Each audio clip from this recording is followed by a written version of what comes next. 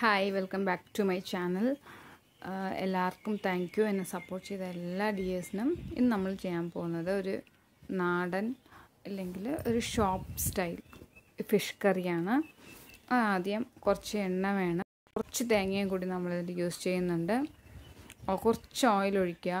എന്നിട്ട് അതിൽ ഇതാണ് ഫിഷ് നമ്മൾ എടുത്തേക്കുന്നത് ഞാൻ ക്ലീൻ ചെയ്ത് വച്ചിട്ടുണ്ട്.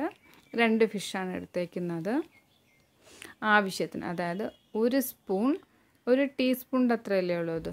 ഒരു ടീ ഒരു സ്പൂൺ അതായത് എരിവിനനുസരിച്ച് നമ്മൾ ഒരു സ്പൂൺ മുളക് പൊടി ഇടുകയാണെങ്കിൽ ഒരു രണ്ടര സ്പൂൺ കൊത്തമല്ലിപ്പൊടി ഇതാണ് മെഷർമെന്റ് ഇപ്പോൾ ടേബിൾ സ്പൂൺ ആണെങ്കിൽ സെയിം അത് തന്നെയാണ് മെഷർമെന്റ് ഇത് നല്ലതായിട്ടൊന്ന് ഇളക്കി കൊടുക്കണം. ഇത് കുറച്ചിങ്ങനെ കരികാൻ വിടണ്ട. സിമ്മിൽ വെച്ചിട്ട് വേണം ചെയ്യാൻ. മൂത്ത് വരുമ്പോഴത്തേനും ഇതിൽ തേങ്ങ അതായത് ഒരു നാല് നാല് ടേബിൾ സ്പൂൺ തേങ്ങ അത്രേ വരത്തുള്ളൂ. കൂടുതൽ വേണമെങ്കിൽ നമ്മൾ ഗേതിയൊക്കെ അതിന് കണക്കാക്കി കൂട്ടി വയ്ക്കണം. നല്ലതായിട്ടൊന്ന് ഇളക്കി കൊടുക്കണം. കരുകാൻ വിടാൻ പാടില്ല. നല്ലതായിട്ട് ഇളക്കി കൊടുത്തുകൊണ്ടിരിക്കണം ഇളക്കി കൊടുത്തു കഴിഞ്ഞിട്ട് നമുക്കിതിൽ കുഞ്ഞുള്ളി ഇടണം. ഞാൻ മിസ് ചെയ്തു പോയി. സോ ഞാൻ തനിച്ചതിനെ ജസ്റ്റ് ഒന്ന് ചട്ടിയിലിട്ട് വാട്ടി ഇടുന്നുണ്ട് അരയ്ക്കുമ്പോഴത്തേനും. നിങ്ങൾ കുഞ്ഞുള്ളി ഇടാൻ മറക്കരുത്. ഒരു രണ്ട് കുഞ്ഞുള്ളി. നമ്മൾ മഞ്ഞൾപ്പൊടി അവസാനം ഇട്ട് വേണം സ്റ്റോപ്പ് ചെയ്യാൻ. മഞ്ഞൾപ്പൊടി ഇട്ട് ഇളക്കേണ്ട ആവശ്യമില്ല. എല്ലാം നല്ലതായിട്ട് കുക്കായതിന് ശേഷം മഞ്ഞൾപ്പൊടി ഇട്ട് ജസ്റ്റ് ഒന്ന് ഇളക്കിയിട്ട് നമുക്ക് അരയ്ക്കാൻ എടുക്കാം.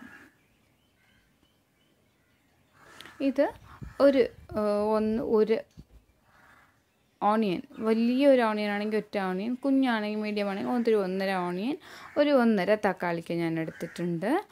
പുളിക്കും ഈ ടേസ്റ്റിനൊക്കെ വേണ്ടിയിട്ടാണ്. പുളി കുറവാണെങ്കിൽ നമ്മൾ പുളി ചേർക്കും. നല്ല പുളി ഉണ്ടെങ്കിൽ ഇതിൽ പുളി നിങ്ങൾ ചേർക്കേണ്ട ആവശ്യമില്ല.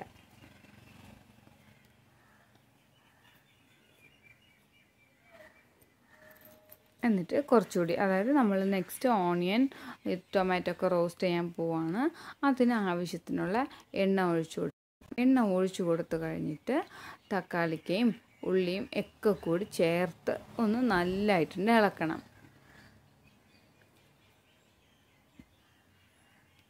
നല്ലതായിട്ട് ഇളക്കണം.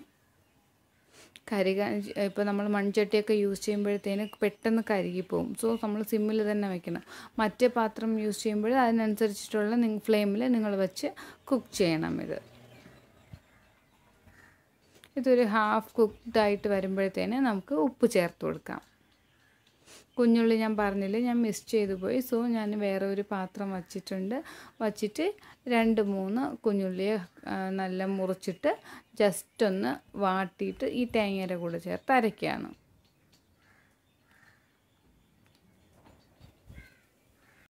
ഞാൻ ഇപ്പോൾ മുറിച്ചിടുകയാണ് കുഞ്ഞുള്ളി.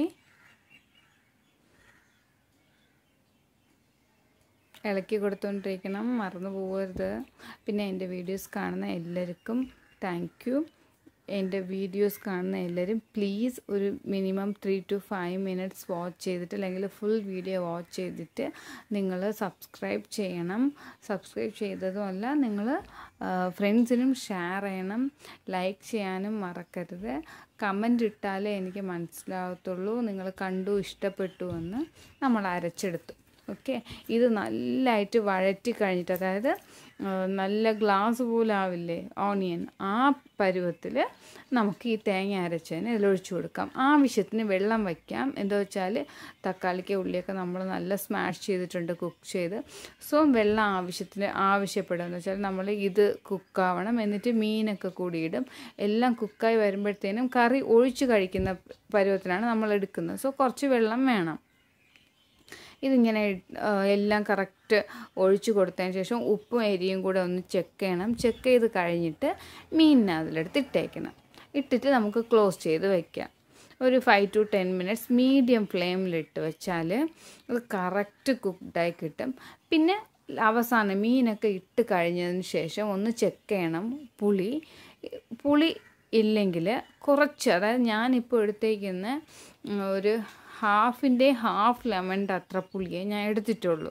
നിങ്ങൾക്ക് തക്കാളിക്ക് തന്നെ നല്ല പുളിയുള്ള തക്കാളിക്കാണെങ്കിൽ പുളി ചേർക്കേണ്ട ആവശ്യമില്ല. എനിക്കിപ്പോൾ പുളി കുറവാണ്. സോ ഞാൻ കുറച്ച് കണ്ടല്ലോ ഞാൻ ഇത്രയും എടുത്തിട്ടുള്ളൂ പുളി.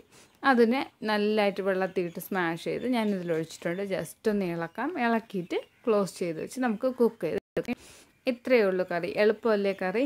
നിങ്ങളൊന്ന് ട്രൈ ചെയ്യണം. ട്രൈ ചെയ്തിട്ട് എനിക്ക് പറയണം. നല്ലതായിട്ടൊന്ന് ഇളക്കി നല്ലതായിട്ട് മീൻസ് മീൻ പൊടിഞ്ഞു പോകരുത്. പോവാത്ത തരത്തിൽ നിങ്ങളൊന്ന് ഇളക്കി കൊടുക്കണം. എരിയൊക്കെ കറക്റ്റായിട്ടിരിക്കും ഒന്നുകൂടി അവസാനം ചെക്ക് ചെയ്താൽ മതി. എന്നിട്ട് കുറച്ച് എണ്ണയും കറി ലീവ്സും ഒക്കെ പുറത്തിട്ട് കൊടുക്കണം. ലാസ്റ്റ് ഒരു നല്ല മണത്തിന് വേണ്ടിയിട്ടാണ്. Okay thank you for watching Ash Tara മറക്കാതെ സബ്സ്ക്രൈബ് ചെയ്യണം. എന്നെ സപ്പോർട്ട് ചെയ്യാനും മറക്കരുത്. താങ്ക് നിങ്ങൾക്ക് എന്തെങ്കിലും റെസിപ്പീസ് വേണമെങ്കിൽ നിങ്ങൾ ചോദിക്കുകയാണെങ്കിൽ മാക്സിമം ഞാൻ ആ റെസിപ്പി നിങ്ങൾക്ക് നല്ല ടേസ്റ്റി ആയിട്ട് എങ്ങനെ ചെയ്യാമെന്ന് ഷെയർ ചെയ്യാം.